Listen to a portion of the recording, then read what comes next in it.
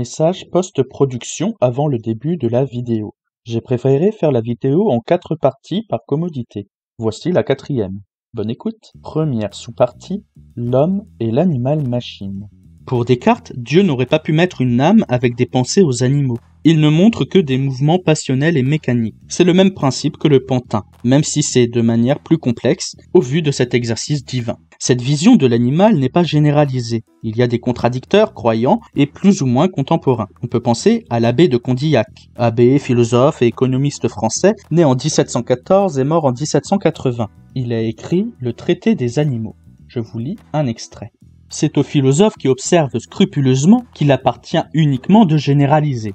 Il considère les phénomènes chacun sous toutes ses faces, il les compare, et s'il est possible de découvrir un principe commun à tous, il ne le laisse pas s'échapper. Il ne se hâte donc pas d'imaginer, il ne généralise au contraire que parce qu'ils y sont forcés par la suite des observations. Mais ceux que je blâme, moins circonspects, bâtissent d'une seule idée générale les plus beaux systèmes.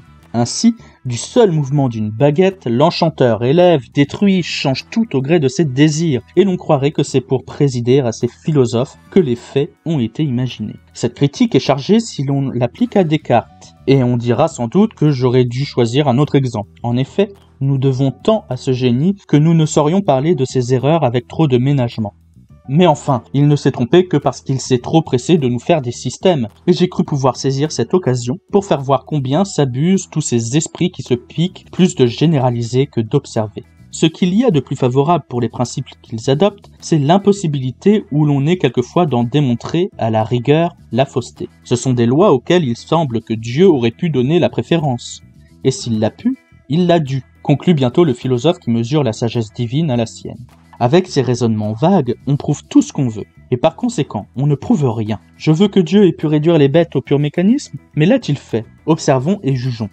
C'est à quoi nous devons nous borner. Nous voyons des corps dont le cours est constant et uniforme. Ils ne choisissent point leur route. Ils obéissent à une impulsion étrangère. Le sentiment leur serait inutile. Ils n'en donnent d'ailleurs aucun signe. Ils sont donc soumis aux seules lois du mouvement.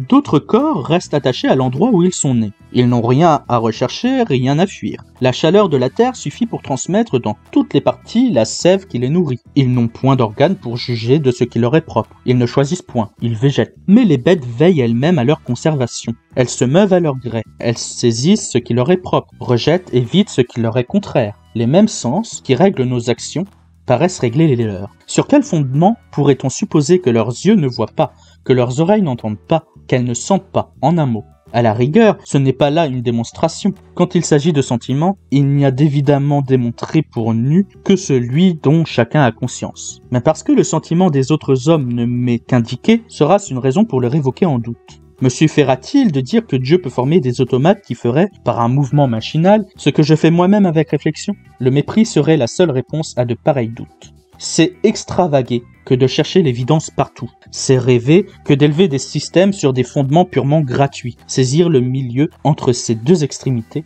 c'est philosopher. Il n'y a donc autre chose dans les bêtes que du mouvement. Ce ne sont pas de purs automates. Elles sentent. Pour l'auteur, le philosophe s'occupe des généralités. Il va considérer un ensemble de phénomènes pour trouver un principe, c'est-à-dire une règle de fonctionnement ou une loi générale. C'est en lien à l'observation, ce que l'on appelle la contemplation en philosophie. Parmi ces philosophes, il y en a que l'on peut critiquer, remettre en doute, parce que au lieu de faire un système fondé sur des observations, ils en fondent un sur une idée générale, comme un enchanteur qui exercerait sa magie dans le monde pour rendre réelles ses pensées. Condillac prend en exemple Descartes. Il n'y a pas de remise en cause de l'ensemble de l'œuvre. Il a beaucoup apporté au niveau de la philosophie, au niveau politique et au niveau scientifique. Ce qui n'empêche pas qu'il ait fait des erreurs. Il généralise des idées sans observation approfondie. Pour l'auteur, Descartes s'est trompé avec la conception qu'il a de la création divine. Si Dieu peut, il le fait. Il a donc décidé de créer des lois qui font que l'animal n'a pas de pensée et est une machine. Pour Condillac, cela ne prouve rien, parce que si c'est le cas, on peut dire que Dieu a mis en moi cette idée, donc ce serait vrai par conséquent. Si je veux que Dieu ait réduit l'animal à un mécanisme, c'est que c'est ainsi. Condillac revient sur cette idée et propose de la tester avec l'observation c'est-à-dire un retour à l'expérience que la spéculation ne fait pas. On observe des corps qui sont soumis à des lois du mouvement, comme un objet qui tombe. Il y a des corps qui ne bougent pas, mais qui croissent au même endroit. Ils végètent. Les plantes, par exemple. On en vient ensuite aux bêtes, donc animaux non humains. Les animaux êtres vivants et en mouvement, comprennent aussi les hommes. L'animal veille à sa conservation. Il y a donc un sens à donner à ses actions. Sur quoi se fonderait alors l'idée qu'il n'y a pas de sentiment, de perception, et par conséquent de pensée chez les animaux? L'auteur précise que ce n'est pas une démonstration. Cela ne prouve rien, mais c'est sur le même mode d'observation que nous prêtons des pensées aux autres hommes. Et cela voudrait dire que Dieu aurait fait des êtres qui font les mêmes choses, préserver leur vie, mais certains par nécessité mécanique et les autres par les pensées. Cette idée, pour Condillac, mériterait le mépris. Ce seraient des pensées extravagantes. Descartes fonde une idée erronée sur des fondements gratuits, donc non remis en doute et non soumis à un examen approfondi, donc une pure spéculation. C'est ainsi que l'on peut conclure que les bêtes ne sont pas des automates. Il y a une démonstration d'intelligence des bêtes dans leurs actions.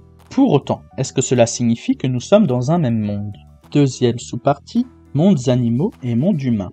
Il y a des ressemblances entre les hommes et les animaux, mais il y a aussi des dissemblances. Ce fut un objet de tension entre les naturalistes et les fabulistes. Les naturalistes écrivent des ouvrages scientifiques qui décrivent des environnements précis et adaptés pour chaque être vivant. Les fables transportent les animaux dans un monde qui serait humain. Quelques siècles plus tard, nous avons Disney, et il peut être juste de critiquer cette anthropomorphisation c'est-à-dire prêter aux objets et aux animaux des caractères humains. Les animaux et les hommes n'ont pas les mêmes mondes. Nous le comprenons avec Jacob von Liexkull, biologiste allemand né en 1864, mort en 1944, auteur de Mondes animaux et Mondes humains. L'auteur y développe le concept d'Umwelt, l'idée que chaque être vivant a un univers ou un environnement propre.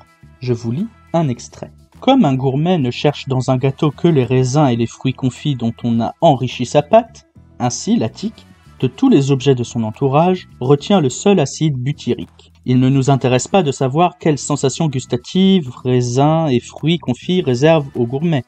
Nous constatons seulement qu'ils deviennent des caractères perceptifs de son milieu, parce qu'ils ont pour lui une signification biologique particulière.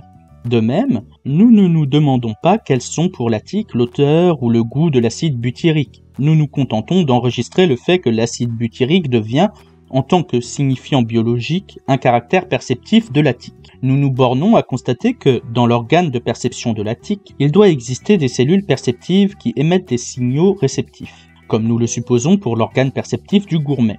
Les signaux perceptifs de la tique changent l'excitation de l'acide butyrique en un caractère perceptif de son milieu, alors que les signaux perceptifs du gourmet changent, dans son milieu, l'excitant des raisins et des fruits confits en caractère perceptif. Le milieu de l'animal, que nous nous proposons d'examiner, n'est qu'un fragment de l'entourage que nous voyons s'étendre autour de lui. Et cet entourage n'est rien d'autre que notre propre milieu humain. La première tâche, dans une recherche sur le milieu, consiste à isoler les caractères perceptifs de l'animal parmi tous ceux de son entourage et à en bâtir le milieu de l'animal. Le caractère perceptif des raisins et des fruits confits laisse la tique indifférente, alors que celui de l'acide butyrique joue un rôle primordial dans son milieu. Dans le milieu du gourmet, l'importance n'est pas mise sur l'acide butyrique, mais sur le caractère perceptif des raisins et des fruits confits tout sujet tisse ses relations comme autant de fils d'araignée avec certaines caractéristiques des choses et les entrelace pour faire un réseau qui porte son existence. Quelles que soient les relations entre un sujet et les objets de son entourage, elles se déroulent toujours en dehors du sujet, là même où nous devons chercher les caractères perceptifs. Les caractères perceptifs sont donc toujours liés à l'espace d'une certaine manière, et, puisqu'ils se succèdent dans un certain ordre, ils sont également liés au temps. Trop souvent, nous nous imaginons que les relations qu'un sujet d'un autre milieu entretient avec les choses de son milieu prennent place dans le même espace et dans le même temps que ceux qui nous relient aux choses de notre monde humain. Cette illusion repose sur la croyance en un monde unique dans lequel s'emboîteraient tous les êtres vivants. De là vient l'opinion commune qu'il n'existerait qu'un temps et qu'un espace pour tous les êtres vivants.